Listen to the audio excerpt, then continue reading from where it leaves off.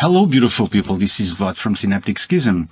And today I'm doing something a little bit different. It's the first time that I'm revisiting on a topic I already made a video about. And that topic is to calibrate your headphones for mixing and mastering. So I'm going to give you the short version of this so that you can decide if you want to watch the rest of the video or if you want to do something else. The short version is do not calibrate your headphones or your speakers. Do not use any software. The only thing that you need to do is to listen to music on the system that you record, write music, mix, master, and so on. That's, that's the gist of it. That will be the final conclusion of this video. Now, one of the three things is going to happen. Either one, you think I'm full of BS and you are going to watch another movie. That's fine. The second one is you agree with this and you have all the information that you need, which is fine. You can do something else also.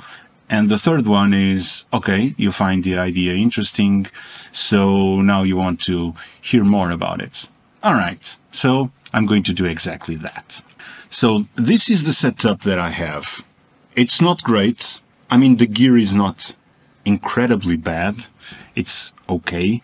I have these speakers correctly positioned near me. I have these speakers and this amplifier for, I don't know, 30 years or something like that. It was actually a gift from someone that really liked my music and I cherish them quite a lot. I also have my headphones that I've got new pads and, and that's it. Uh, this is where I listen to music and this is where I write music, where I mix, where I master. Now, in the video that I did before, my whole point was that the software to calibrate headphones and speakers didn't really work for me. And that in the end, I ended up setting a EQ on the monitoring bus so that I would have the sound that I was expecting on a certain track, Mains End from the Avengers, but that would not color the, uh, the, the master, the output, the file. Um, what happened after that video, some months later, I found another software. I don't recall the name, but it's not important. And I switched off the EQ and I added that software. And I used it exclusively to correct the headphones. Nothing else, just headphone correction and nothing else but that. Uh, and uh, for months I was very happy with that. I felt that the output was very linear, I was enjoying listening to, to my music on, on my headphones. Um, I was not enjoying it on my speakers, which was the initial motivation to get the calibration for the headphones. Some months later, I found out that the plugin in my template, the corrections plugin, was in fact bypassed. And the bypass inside the plugin didn't communicate with the digital audio workstation, which meant that there was no visual indication that the plugin was bypassed.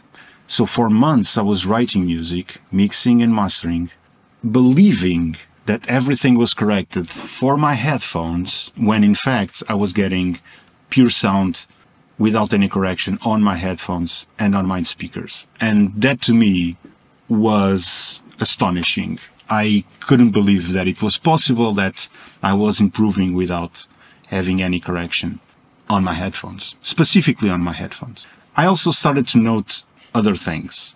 The first one was that it was very clear to me that I had a lot of music that sounded good on my speakers, but my own music didn't. And when I did the car test, my music sounded as bad as other tracks from other artists.